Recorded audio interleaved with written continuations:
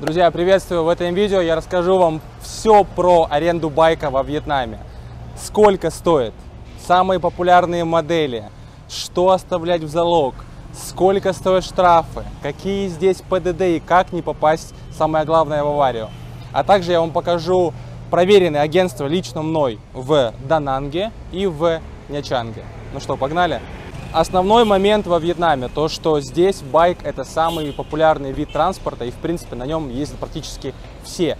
То есть вам по-любому придется как-то контактировать с байком, если вы хотите перемещаться по Вьетнаму. Конечно, можно встретить и машины,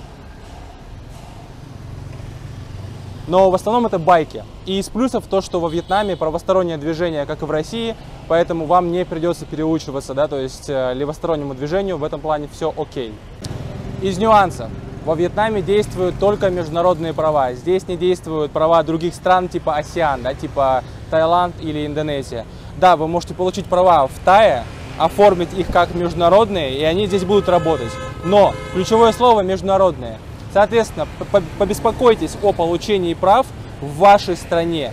Оформите права на байк и на авто, сделайте их международными. Потому что в этом случае вы будете, быть, вы будете уверенными, что если вас остановят, как бы у вас есть документы. Потому что иначе, как бы, если вас остановят, у вас нет прав, э, ну это, это по-любому штраф. Чаще всего при аренде байка у вас будут спрашивать ваши международные права. И в некоторых агентствах, где я раньше снимал, уже перестали сдавать э, туристам без прав. Поэтому вот в этом месте, это место называется Куанга, все точки будут в описании. Здесь вы можете снять байк без прав. А также я оставлю точку в Нячанге. Поэтому я в Дананге, в Нячанге обошел порядка пяти, пяти агентств в каждом городе. И вот я оставлю точки на самые а, адекватные, где самые нормальные цены и где а, ренталы просто не будут вам делать мозги, а дадут, дадут байк, чтобы вы кайфанули. Теперь, когда вы снимаете байк, вам нужно оставить залог. Обычно это либо паспорт, то есть вы можете оставить свой, допустим, российский паспорт, да, потому что иностранный вам нужен, а, либо оставить деньги. Я узнал, то есть видите, как от 1 до 10 миллионов, то есть условно от 40 а, долларов до 400, в зависимости от стоимости байка. То есть, если вы снимаете, я, допустим, снимаю э, Yamaha NVX, это такой самый популярный здесь байк. То есть, если вы снимаете его, то вы оставите депозит 2 миллиона. 2 миллиона это 80 долларов. То есть, в принципе, вы можете оставить 80 долларов, да, чем оставлять свой паспорт. Теперь давайте я вам покажу самые популярные модели и самые удобные модели байков во Вьетнаме. Это называется Yamaha NVX. Я его снимаю за 70 долларов, он 2019 года. Он напоминает э, Yamaha NMAX, популярный на Бали, но как бы немножко эти байки отличаются. Этот байк чуть-чуть поменьше. Очень удобный, 155 кубиков. На дальние расстояния даже, даже с пассажиром ездить удобно, то есть проблем никаких нету. Все байки, которые я вам сейчас покажу, вы можете снять в среднем от 50 до 100 долларов. Что влияет на цену? Самое первое, год когда он был произведен, то есть чем он новее, тем дороже. И модель байка, то есть, допустим, NVX да, будет а, дороже, чем а, какой-нибудь а, там Scoopy да, или а, Wave, потому что у него больше кубатура. Следующий байк. Это у нас Honda Vision. То есть все байки, которые я вам сейчас покажу, показываю, они до 155 кубиков. Все автоматика. Honda Vision тоже неплохой. Это у нас а, Honda Vario, тоже новенький, хороший, удобный. Дальше. Это у нас Honda Airblade. Тоже неплохой байк, но как бы видите, у него есть нюансики, да, то, что он узкий. Если сравнивать э, вот здесь сидушку, да, какая она, и какая сидушка здесь, она уже поуже. Также нужно смотреть на размер колеса. То есть, видите, какой размер колеса здесь, да? он очень узкий по сравнению, например, с вот с этим. Здесь уже шире. Здесь еще уже. Соответственно, чем уже колесо, тем а, неудобнее вам будет перемещаться на большой скорости, потому что любые потоки ветра а, вас могут сдуть, как бы, и вы упадете. Также здесь есть тоже популярный байк, который популярен на Бали. Он называется Honda Scoopy. Вот такой вот, новенький. Если снимать его на сутки, то вот мой приятель его снимал за 7 долларов в сутки. Теперь, помимо этого, есть еще и такие байки, они уже у нас либо механические, либо полуавтоматические, да, видите, да, у них здесь есть коробка переключения э, передач. Ну, как бы такие байки уже э, чисто вьетнамские, э, видите, какие они маленькие, узенькие, и как бы туристам я их не советую, потому что, во-первых, это механика, то есть не все туристы умеют они ездить, а во-вторых, они как бы очень маленькие. Кстати, по моему мнению, самый классный байк автоматический до 160 кубиков называется Honda ADV. И он здесь имеется, я его вижу здесь впервые. Вот он.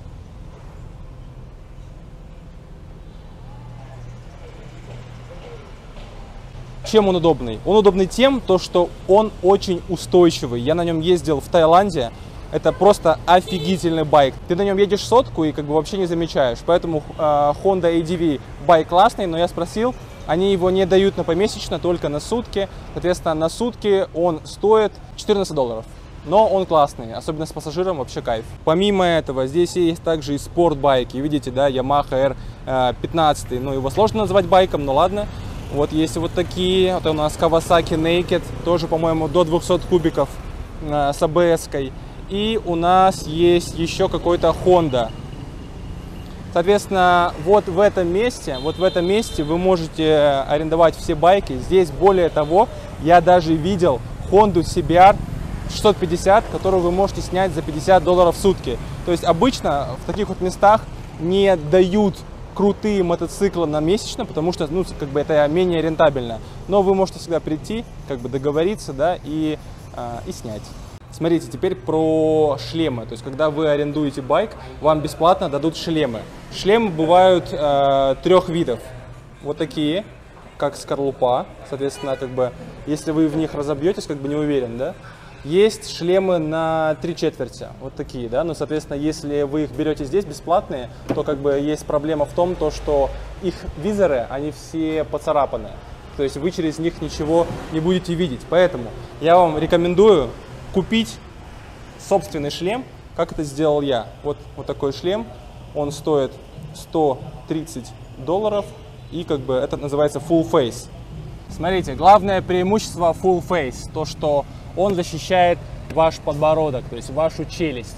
Когда, если вдруг вы упадете на байке, ну и как, как бы вы обычно делаете кувырки, не дай бог, если у вас шлем без этой защиты, то как бы прости, прощай, не обещай. Поэтому я рекомендую брать full face. Некоторые жалуются, то, что в них, мол, жарче, да, потому что, соответственно, ну, как бы вы дышите чем? Но вам нужно открывать визор, чтобы нормально дышать, да, особенно в жаркую погоду. Но мне кажется, э, лучше подышать немножко похуже, чем не дышать вообще. Поэтому рекомендую брать full face. Цены на full face и где их купить. Сейчас вы вот справа от меня видите магазин, где я купил этот шлем. Соответственно, full face шлем вы можете купить Э, от 40 до 70 долларов в легкую. Такой стоит 130, его тоже можно взять, он удобнее, там красивее и прочее, и прочее.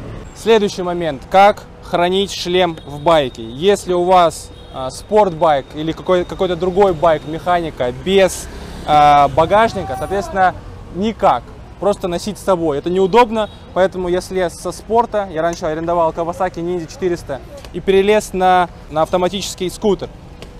Открываете багажник. Соответственно, перед тем, как арендовать скутер, вам лучше стоит купить шлем, чтобы понять вообще размер вашего шлема и прочее, прочее. И под него вы уже выбираете скутер, потому что у разных скутеров разные багажники. У этого багажник э, подходит. Теперь как хранить шлем в багажнике? Когда вы купите шлем, у вас будет специальный чехол. Вы кладете шлем в него, чтобы визор не поцарапался. Далее вы кладете не дном, а наоборот верхушкой, да, то есть вот так вот вы, вы кладете шлем в багажник. То есть вот вы его убираете, и теперь вот сюда. Именно в, только в этом случае он закроется. Если вы будете ставить так, он, багажник не закроется. В таком случае закрывается. И все, вы можете закрыть и идти гулять. Следующий момент. Поговорим про топливо, как заправляться, расход, вместимость и так далее. На, если мы говорим про спортбайки, да, то здесь вместимость бака больше. То есть обычно у спортбайков там объем бака от там, 11 там, до 16 литров. Соответственно, чем меньше кубатура, тем меньше, разумеется, заправляться. Вставляете ключ, открываете, заправляетесь. По расходу топлива. Разумеется, расход, а, на расход топлива влияет то, с какой скоростью вы едете и как часто вы меняете как бы, да, скорость вашего перемещения. Если говорить об э, э, спортивных мотоциклах, то там расход в среднем там, 6 литров на 100 километров. Если же говорить про автоматические байки, то здесь обычно расход топлива 2-3 литра на 100 километров. Вместительность бака обычно там 5-6 литров. Соответственно, такого полного бака в таком байке вам может хватить на там, 100-200 километров, да, в зависимости от того, с какой скоростью вы едете. Теперь, как заправляться? Ну, собственно, заправок здесь много. А, литр бензина стоит примерно 1 доллар. Здесь два вида бензина, 92 и 95. Если у вас спортбайк, то есть э, классный байк, 95. Если у вас э, просто как бы, ну, мопед, да, можно и 92 Но разница в цене там настолько не принципиальная, то что легче заправляться 95-м. И, в принципе, многие вьетнамцы так и делают. Как открыть бак? Собственно, у вас обычно должен быть автоматический ключ. Поворачиваете до режима Open. Далее нажимаете на Fuel. У вас открывается вот здесь вот такая штучка. В моем случае здесь есть дополнительная хрень для держания э, пакетов с продуктами. У вас это открылось откручиваете, вам набрали, вы это снова закручиваете, закрываете. Все, вы можете ехать. Как расплачиваться на заправке? А, принимают наличку, также можно оплачивать с карточки. Я оплачивал. Поэтому как бы все возможно, но лучше иметь наличку. Следующий момент. Вы не знаете местности, как здесь, э, где что, поэтому вам нужно пользоваться Google картами. Вариант первый. Наушники вставляете, да, слушаете, едете. Но не всегда они работают корректно, потому что иногда он вам говорит, поверните направо, там, условно там, да, а вы не понимаете, вот на этом перекрестке или на чуть-чуть следующем, который через 10 метров. Это неудобно, и тогда нужно смотреть, останавливаться и смотреть на карты, что бесит.